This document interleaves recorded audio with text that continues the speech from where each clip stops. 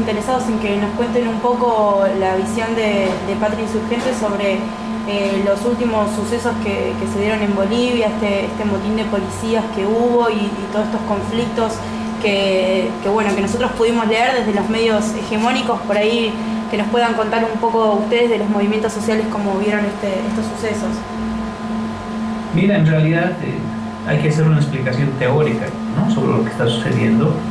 ¿Por qué una explicación teórica? Porque ya no basta mencionar eh, los hechos, eh, como a veces se, dan o como a veces se difunden a través de los mismos medios de comunicación.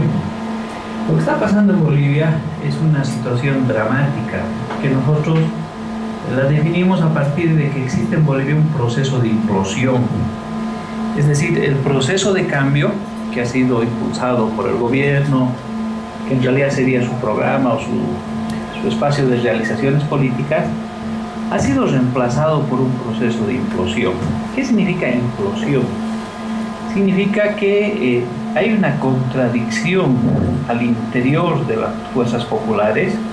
Por una parte está el gobierno, que todavía mantiene una base indígena importante, pero por otro lado, diversos sectores populares eh, se han lanzado a la lucha, sea a través de una insurgencia del trabajo por mejores condiciones de vida, o a partir eh, de un cuestionamiento desde los propios pueblos indígenas. En el caso de la construcción de una carretera que partiría en dos, el TIRNIS, que es un parque nacional y un territorio indígena.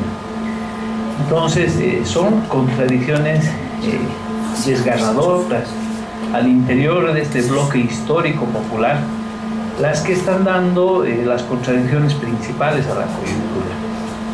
Precisamente es el gobierno de Evo Morales que desde el año 2010 está enfrentando diversos conflictos, cada uno de magnitud diferente, eh, con saldos de muertos, de personas heridas, eh, con intervenciones policiales, eh, con prácticas estatales de represión, de tortura, de seguimiento a líderes y dirigentes sindicales opositores que marcan el cuadro general de crisis en el que se está viviendo.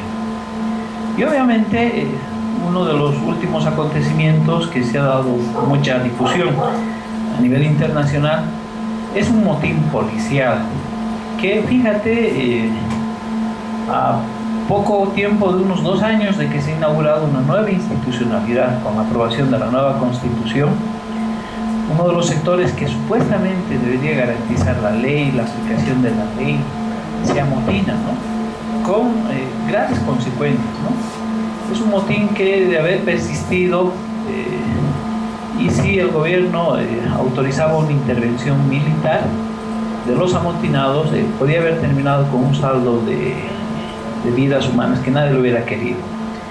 Un enfrentamiento entre policías y militares en plena Plaza Murillo, en el centro político del, actual Estado, realmente nos muestra el grado de conflicto que se está viviendo en Bolivia. Y esto nos recuerda también una situación casi similar que se dio en febrero del año 2003, cuando también en policías se amotinaron, eh, el ejército fue a a intervenir, a, retomar militarmente la Plaza Murillo. Hubo aproximadamente 30 muertos y eso fue el preludio para que en octubre del 2003 el pueblo del Alto se levante y caiga el gobierno de Sánchez de Lozada. Entonces te doy así a grandes rasgos eh, lo que está sucediendo desde nuestra visita, para que tal vez a partir de algunas preguntas tuyas podamos esclarecer algunos de estos aspectos que te estoy mencionando. Eh, con respecto a esto, mm, por ahí, para, digamos, viéndolo desde afuera, eh, al proceso de, Evo Morales, eh, si tuviéramos que hacer un balance de estos siete años de gobierno, regionalmente está parado desde, otro lugar, digamos, desde un lugar mucho más progresista de lo que vos me estás planteando en este momento, con una articulación con los movimientos sociales, digamos, mucho más fluida. Eh, ¿cómo, es, cómo, cómo, cómo, ven esta situación ustedes? Eso es lo que se, se mira, eso, eso, es la percepción que se tiene desde la distancia. En realidad lo que sucede es que eh, el gobierno de Evo eh, ha atravesado por diversos momentos. acuérdate que el Evo sube el 2005 con el 54% del apoyo eh, los siguientes años, la Asamblea Constituyente, pero sobre todo eh, la emergencia de, de, la media luna que se llamó, que era la oposición del en todo el oriente, norte y sur del país, generó una situación de convulsión social eh, que el año 2009 casi, casi, casi fragmenta la estructura estatal en Bolivia.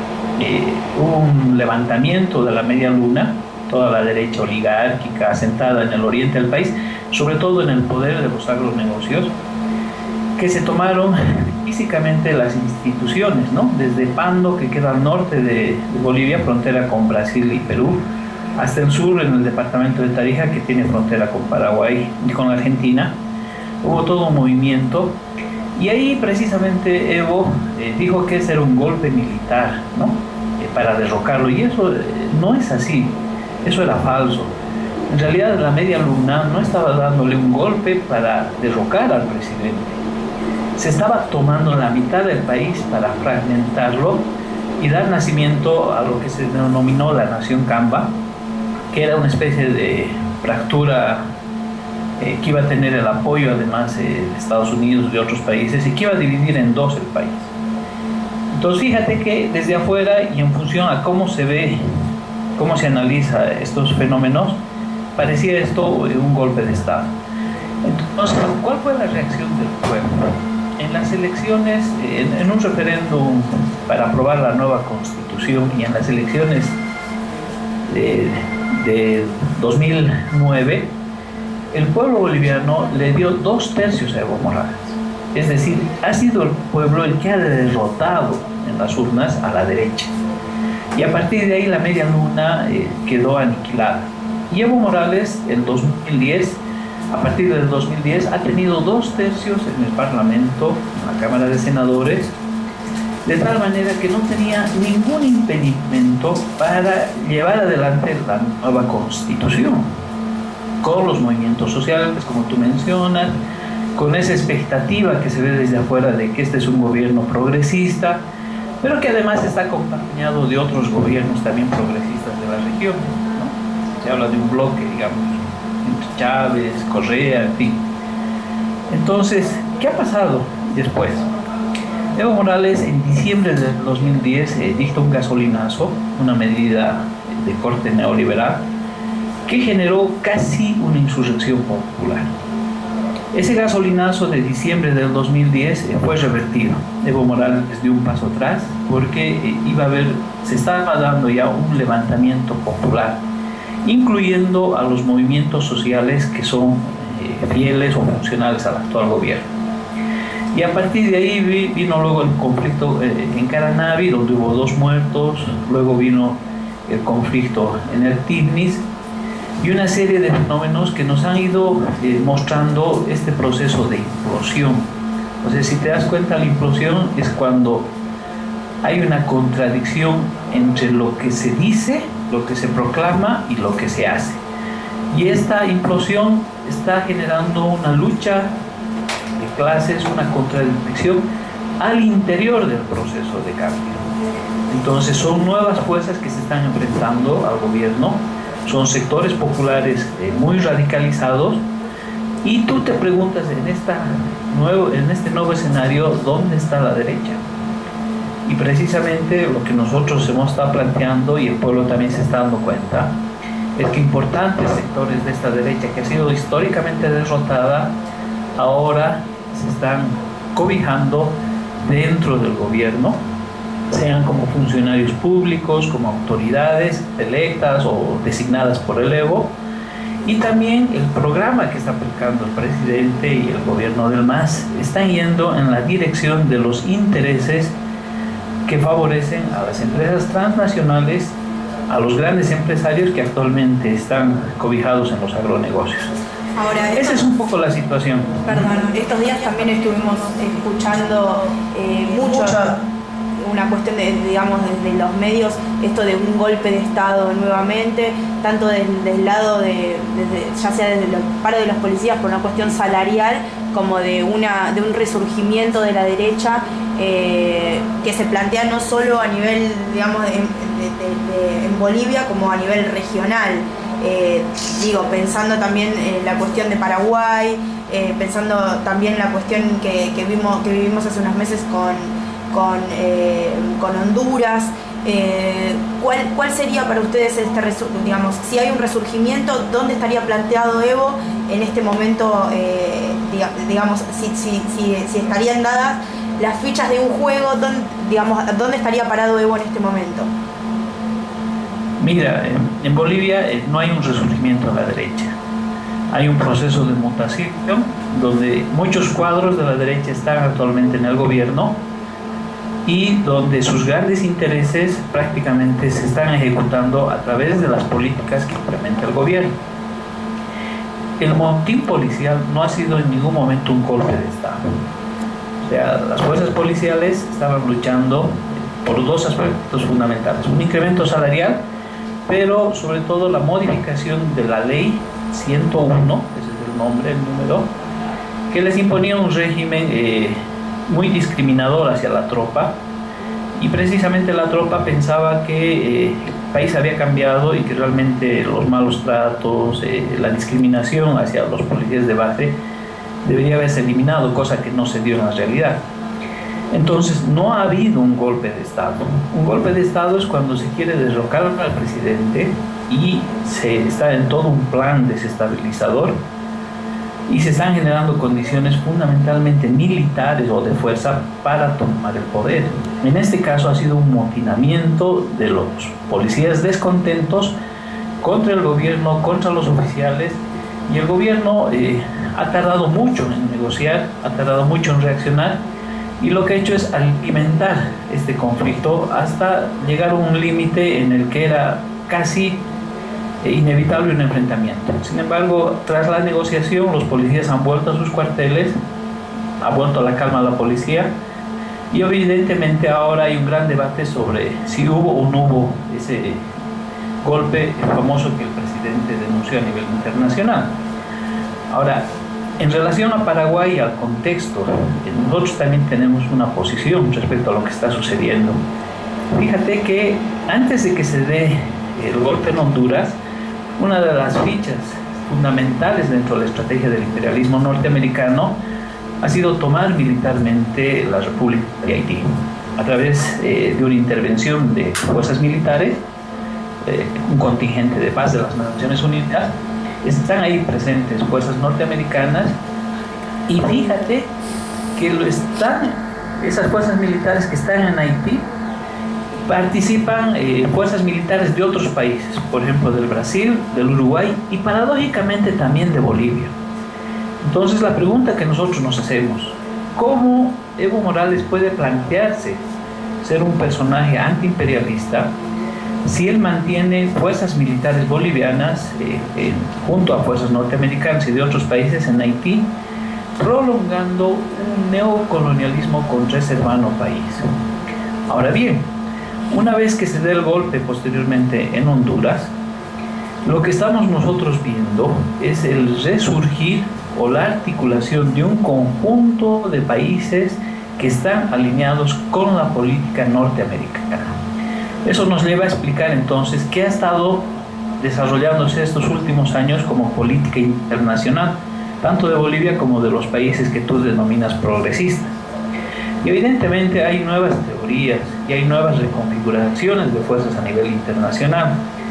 El caso más concreto es que con Lula como presidente, Chávez, los Kirchner, luego Evo, Correa, en fin, se han dado las condiciones para el surgimiento de un bloque regional evidentemente antiimperialista, pero no por ello anticapitalista. Es decir, ¿de qué estamos hablando? Perdón, un conjunto dijiste antiimperialista y no por ello... No por ello anticapitalista. Es decir, es un bloque que se articula para descolgarse del dominio regional imperialista, pero ello no significa que se esté desarrollando una política anticapitalista. Ahora bien, estos nuevos bloques, este nuevo bloque regional progresista, obviamente que se ha articulado con la Revolución Cubana, con su diplomacia internacional, y se ha intentado desarrollar una serie de una nueva institucionalidad regional para descolgarse del dominio imperialista. Eso se observa con absoluta claridad en el caso de UNASUR, ALBA, CELAC, que es el último intento, pero si te das cuenta, toda esa institucionalidad que se ha intentado construir para que no funcione la OEA y para descolgarse de la dominación del imperialismo norteamericano y como región buscar una nueva negociación en el mundo, se ha traducido en unas nuevas iniciativas que han hecho ver que el continente estaba girando hacia la izquierda. Sin embargo, esa situación no es tan cierta, no es tan real, porque nosotros vemos que, por ejemplo, UNASUR o la nueva CELAC que se ha construido no van a jugar un rol internacional de barrera contra estas políticas del capitalismo. Fíjate que en la última reunión del Mercosur ya se, abrió, ya se habló de la posibilidad de un TLC con China. ¿Sabes las consecuencias que tendría esto para las economías nacionales y para las industrias de los diferentes países de la región? Entonces, ¿qué es lo que ha pasado en Paraguay? En Paraguay, Lugo era el presidente, pero en una alianza además con partidos de derecha. Luego tenía una minoría, si bien era presidente, pero la política del presidente Lugo no fue, no fue pues una política 100% revolucionaria. Podemos decir que era un gobierno popular, populista, pero era rehén de la derecha. De tal manera que todas las políticas que el presidente Lugo ha planteado en temas de fondo, por ejemplo, ha fracasado en hacer una reforma agraria. Ha fracasado en parar los agronegocios y ahorita podríamos decir que Paraguay es una nación sometida al dominio de los agronegocios soyeros, soyeros y transgénicos, para mal de, males. Entonces, la salida de Lugo, eh, parlamentaria obviamente, puede reflejar en cierta forma un golpe de Estado.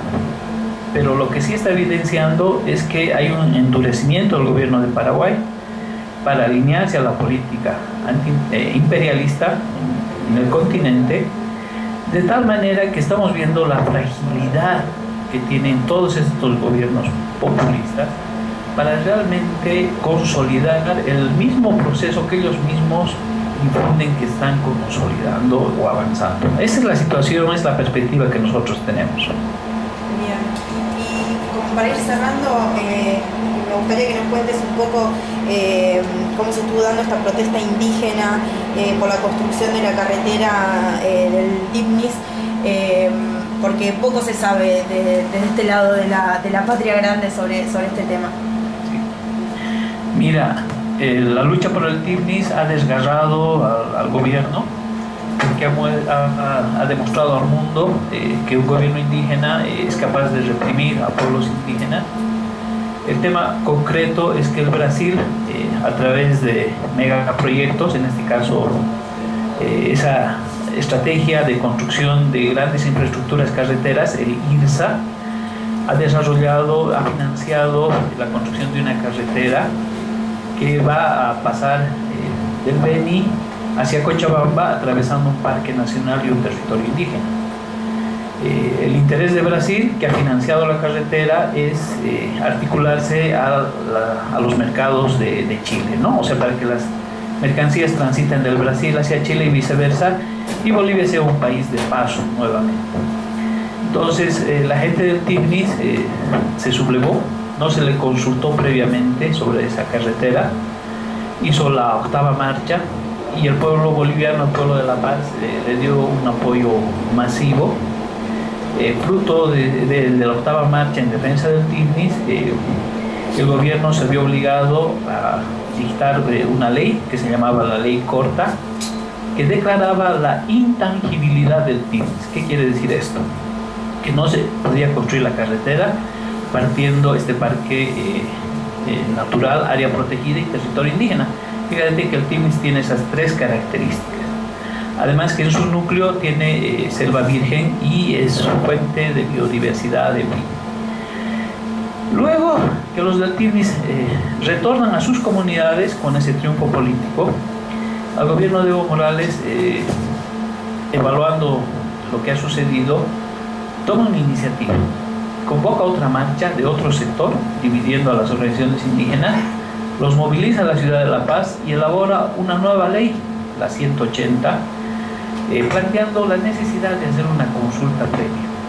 Entonces, ¿esto qué ha originado? Ha originado la novena marcha en defensa del TIM, que son pueblos indígenas de tierras bajas. Ahora bien, ¿cuál es el balance entonces que nosotros vemos? Que el gobierno de Evo Morales, eh, primero que no cumple las mismas leyes que la sacaron. Segundo, que se le ha caído el discurso progresista de abanderado de la defensa de la madre tierra, de la Pachamama, porque el gobierno insiste en que se debe construir la carretera a toda costa, por las buenas, por las malas, eh, con consulta previa, con consulta posterior, en fin. Ahora, te hago una pregunta, porque en este contexto yo recuerdo que, en el debate por, la reforma en la Constitución hace, hace algunos años atrás, eh, uno de los temas centrales era la cuestión de la tierra, eh, que se estaba debatiendo en cuanto, no, no solo, digamos, digo, planteando en, el caso de este parque en particular, sino la cuestión de la tierra comunal, eh, repartida, digamos, de manera igualitaria. ¿En qué quedó esta discusión? Mira, fue un desastre. Lo que pasa es que se difunden cosas, pero el tema concreto es que en la nueva constitución se ha dado una protección jurídica al latifundio. Son varios artículos de la constitución que consolidan la propiedad latifundiana en Bolivia. Te voy a dar algunos datos para que ustedes eh, lo sepan. En Bolivia, eh, los empresarios, los latifundistas, son poseedores de 32 millones de hectáreas de tierra todas ellas cultivables en las mejores zonas del país. Los campesinos, siraymaras, quechuas que viven en el altiplano, los valles, únicamente poseen 4 millones de hectáreas. ¿Qué te parece el dato? Y esa es la política oficial del actual gobierno. 32 millones de hectáreas en manos de empresarios, ganaderos y agroindustriales y 4 millones de hectáreas en manos de campesinos. Pero durante estos años se otorgó 15 millones de hectáreas a los pueblos indígenas de tierras bajas. Pero estos 15 millones no son tierras cultivables, sino son áreas protegidas, parques nacionales y territorios comunitarios. ¿Qué significa esto?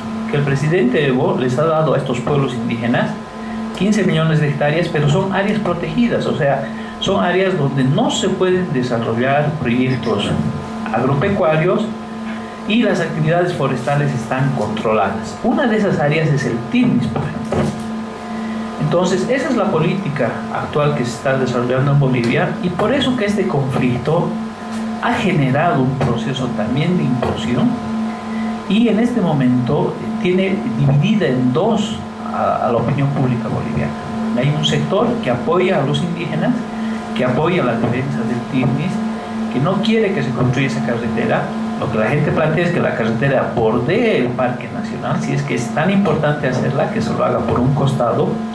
Y por otro lado tienes al gobierno que moviliza a sectores campesinos, también a sectores indígenas, para que se haga la carretera. Y estamos llegando a una situación nuevamente de confrontación en estos momentos eh, los defensores del TIN y los pueblos indígenas están acá en la ciudad de La Paz. Estamos a las puertas de un nuevo conflicto y el gobierno eh, mantiene una posición cerrada que más o menos nos hace recuerdo a un modelo y a una visión de desarrollo de tipo capitalista, donde aquí no interesan los derechos de la madre tierra, no interesan los derechos de los indígenas, y el objetivo es la construcción a como de lugar de una carretera para servir a los intereses brasileños. Y también, ya para terminar, tenemos nosotros que ser claros que esa va a ser una carretera que va a servir para la ampliación de los cultivos de coca.